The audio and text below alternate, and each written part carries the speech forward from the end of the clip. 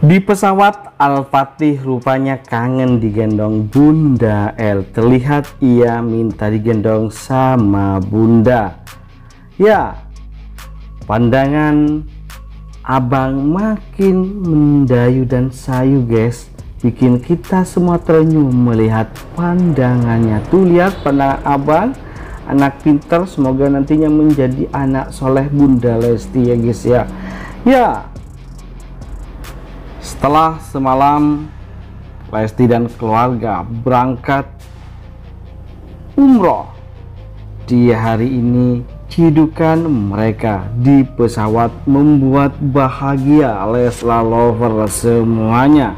Ya saat Abang L minta digendong bundanya bingi bikin hati kita semua terenyuh ya melihat betapa sayangnya abang sama bunda yang begitu tulus menyayanginya sama perlakuannya seperti ayah kejora yang selalu menyanjung menyayangi mengasihi sepenuh hati putrinya putri semata wayangnya Lesti Kejora begitupun Lesti begitu menyayangi abang yang begitu nampak terlihat begitu ganteng guys ya dan menawan perasaan para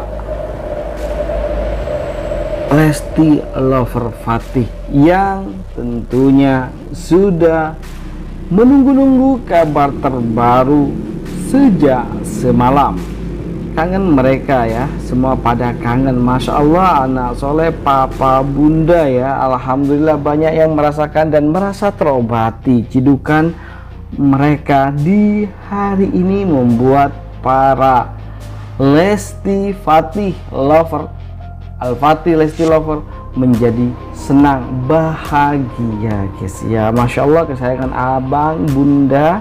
Alhamdulillah ya Allah ini simak berbagai komentar. Tentunya kalian juga kasih komentar gimana menurut kalian guys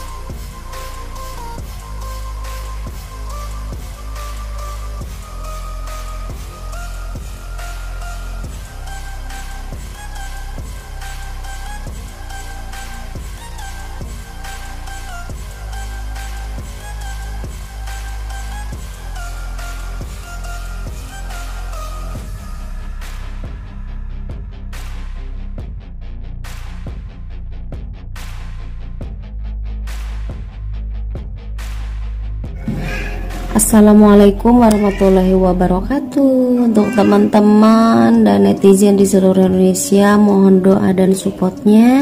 Untuk Dede Lesti Hari Kamis akan berangkat umroh. Mudah-mudahan selalu ada dalam lindungan Allah SWT Dan diberi kesehatan seperti sedia kala ya. Terima kasih. Assalamualaikum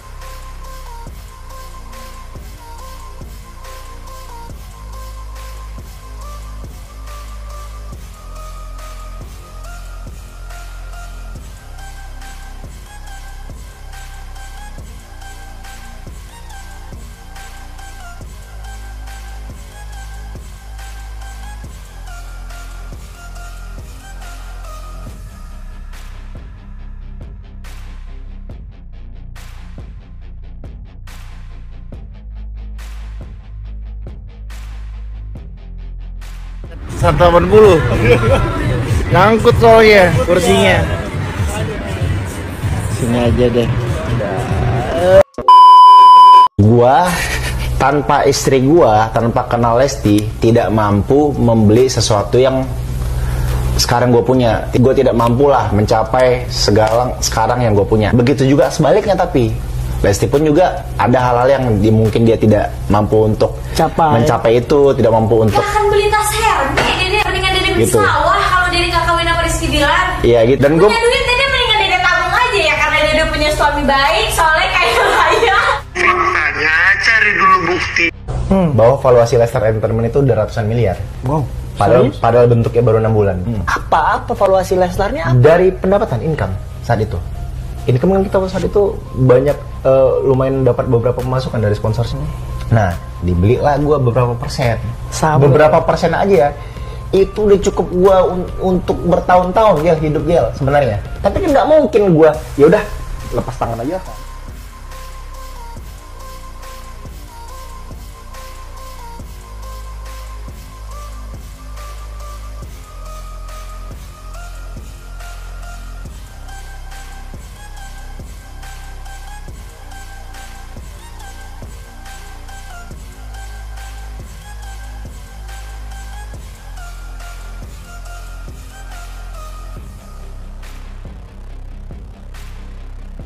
Bagaimana menurut kalian guys? Jangan lupa kasih komentar, like, dan masukan agar tambah seru keuangan mereka berdua yang so selalu.